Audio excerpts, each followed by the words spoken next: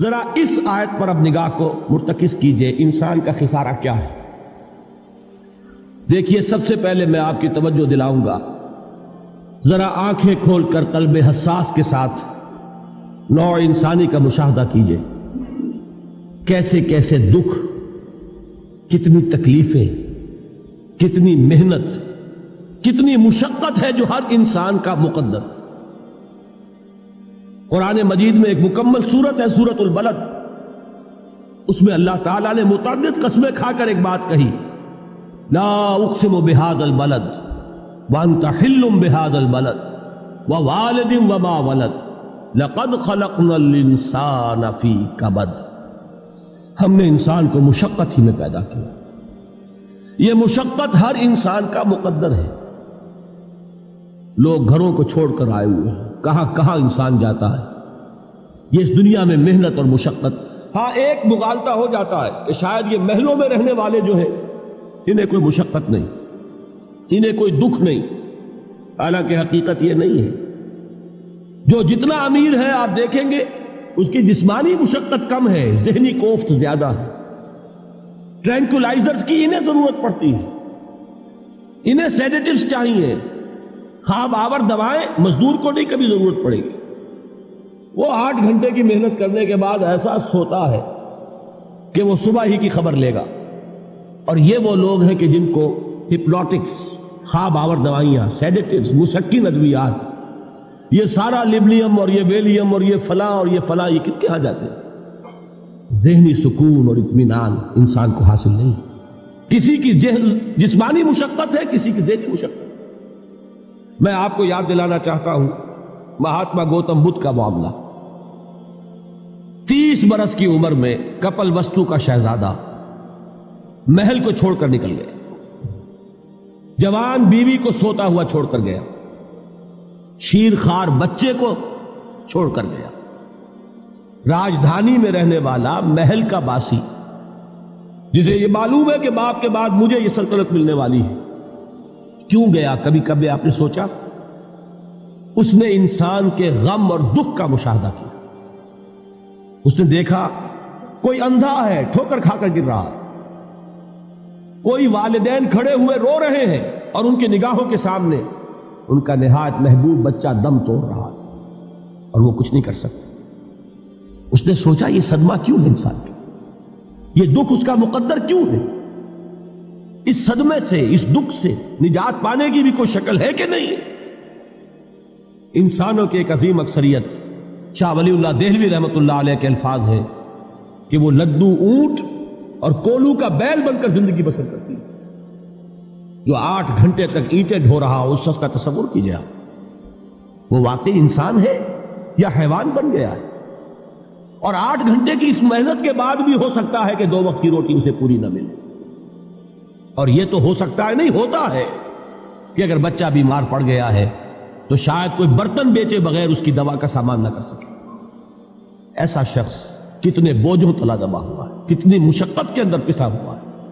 लद्दू ऊँट और कोलू का बैल इंसानों की अजीम अक्सरियत किस सतह पर ज़िंदगी बसर करती लेकिन आपको मालूम है कि कोलू के बैल के लिए मुशक्कत ही मुशक्कत है, उसके एहसास ये नहीं है, जो कि उनसे इंसान को जो सदमा पहुँचता है एक बैल को इससे कोई गरज नहीं कि उसका कोई बच्चा भी था कि नहीं था, उसको कोई बुखार हुआ है या क्या हुआ है। इस सदमे से वो बैल बचा हुआ है। घोड़े को कोई पता नहीं कि मेरा भी कोई औलाद मेरी है या नहीं है और मुझे उसका कोई सदमा है या दुख है। कोई पता नहीं। लेकिन इंसान का मामला यह है कि वालदेन को जो जो दुख देखने पड़ते हैं अपने बच्चों के लिए, अपनी औलाद के लिए। रात की नींद है, हराम है इसलिए कि बच्चा बुखार में तप रहा है या दर्द से तड़प रहा है। लिहाजा ना माँ सो सकती है, ना बाप सो सकता मैंने एक मौके पर देखा, लाहौर में कैरोसिन ऑयल उस जमाने में अभी सुई गैस नहीं आई थी। और अक्सर वो बेशतर जो है, यही मिट्टी का तेल जो है, ईंधन के तौर पर इस्तेमाल होता था, उसकी शॉर्टेज हो गई थी। तो कई कई फरलांग लंबी कतारें लगती थी। उन दुकानों के बाहर, डिपो के बाहर, और ऐसे ऐसे मंजर भी कि एक खातून, बुरका पोश एक गोद में बच्चे को लिए हुए, एक की उंगली पकड़े हुए, बोतल हाथ में लिए हुए तेल के लिए, और कई कई घंटे खड़ी है दुकान। ये मुशक्कत इंसान झेलता है कि गालिब ने इसका नक्शा खींचा है कि रंज से खूगर हुआ इंसान तो मिट जाता है रंज। मुश्किलें इतनी बड़ी मुझ पर के आशा हो हम भूल जाते हैं, वरना वाकया यह कि कल्ब हसास हो अगर और कैद हयात बंदे गम, असल में दोनों एक हैं। मौत से पहले आदमी गम से निजात पाए क्यों? अच्छा यह तो हुआ लकत खलक इंसान फ़ी कबद। हैवानात का मामला एक और एतबार से आसान है। उनसे कोई मुहासमा भी है क्या? कोई जवाबदेही भी है? कोई उनको अल्लाह के हजूर में खड़े होकर अपने अमाल का हिसाब भी देना नहीं इंसान की ये ट्रेजेडी है, ये अलमिया है इंसान। इसको भी कुरान मजीद की एक सूरत में कस्में खाकर समा शक्कत। उसके बाद क्या फरमाया? या युहल इंसान इन न का कादला रब का कदहन फबुलाकी है इंसान, तेरा अलमिया, तेरी ट्रेजेडी, इससे कहीं बढ़कर है।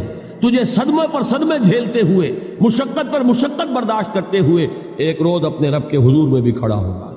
जवाबदेही भी करनी उस दिन के हिसाब से, उस दिन के एहसास से, जो बड़े बड़े हमारी उम्मत के अजीम, जो गुले सरसबद है, उनका यह हाल आपने पढ़ा होगा, हज़रत अबू बकर सिद्दीक रज़ी अल्लाह तला वो एक अजीब कैफ के आलम में फरमाया करते थे, काश मैं दरख्तों पर चहचहाती हुई चिड़िया होता, जिससे हिसाब किताब नहीं होगा।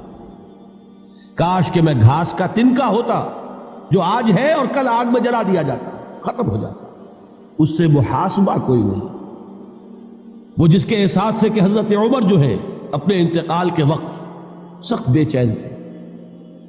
उनके बेटे हज़रत अब्दुल्ला इबन उमर रज़ी अल्लाह तुमा ने, उनका सर जो है वो अपने जानों पर रख लिया तो कहा, नीचे डाल दो। एक अजीब बेकली और बेचैनी उन्होंने कहा अब्बा जान आप क्यों परेशान हैं? आप तो अशराय मुबशरा में से आपको तो अल्लाह ताला ने जन्नत की बशारत हुजूर के ज़रिए से इस दुनिया में दी। हज़रत उमर फरमाते हैं कि खुदा की कसम, अगर कयामत के दिन उमर बराबर सराबर पर छूट गया तो बहुत बड़ी कामयाबी तो सब ये एहसास जिनको होता हज़रत अली का हाल क्या होता है? अभी जो आपने हाफिज साहब से सुना यह हज़रत अली का मामला है कि एक तीर पैवस्त हो गया था, किसी तरह निकल नहीं रहा था। हज़रत अली ने फरमाया कि अच्छा छोड़ो मुझे, मैं नमाज़ की नीयत बांधता हूँ। नमाज़ की नीयत पढ़ते थे तो लरसते थे, कांपते थे। किसके सामने खड़ा हो? और किसके सामने मुझे एक दिन जवाबदेही के लिए खड़ा होना होगा? लन तजूला कदम अबन आदम। हजूर ने खबर दी है, इब्ने आदम के कदम हिल नहीं सकेंगे। जैसे मुजरिम खड़ा होता है कटेहरे के अंदर, उस कटेहरे में से हिल नहीं सकोगे। हत्ता युसलान खमसिन। जब तक कि पाँच चीज़ों का हिसाब न ले लिया जाए। वो पाँच चीज़ें क्या है, कान खोल कर सुनिए। अन उमर ही फीमा अफना उम्र का हिसाब दो, ये अस्सी बरस और सत्तर बरस हमने तुम्हें दुनिया में दिए। कहा जाए किए?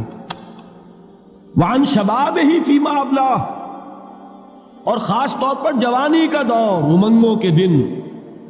वलवले होते हैं कुवत होती है, तवानाई होती है।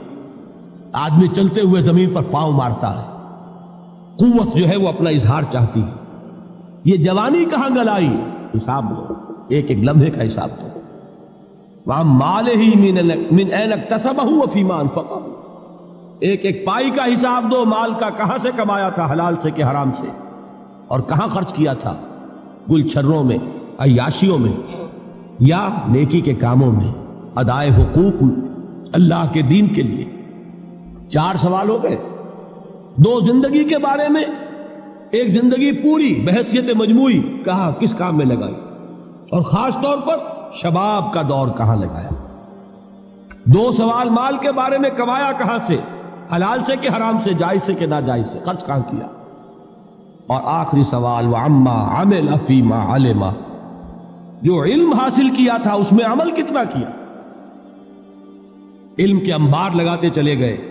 और अमल के आगाज़ की भी नौबत ना आई ये इल्म जो है, ये उस रोज सबसे बड़ा वबाल बन जाएगा इतना इल्म और अमल कुछ नहीं। बजाय के क्रेडिट का ज़रिया बने, ये उल्टा डेबिट का खाता बन जाए। ये जवाबदेही का एहसास है कि जिसकी वजह से इंसान की ट्रेजेडी जो है वो दोहरी है। कोई हैवान इतने बोझ तले नहीं। मुशक्कत की, मेहनत की, इस ज़िंदगी में खत्म हुए। उसके बाद कोई मुहासबा नहीं। इसको भी गालिब ने खूब कहा है कि अब तो घबरा के ये कहते हैं कि मर जाएँगे और मर के भी चैन ना पाया तो किधर जाए? ये है वो ह्यूमन ट्रेजेडी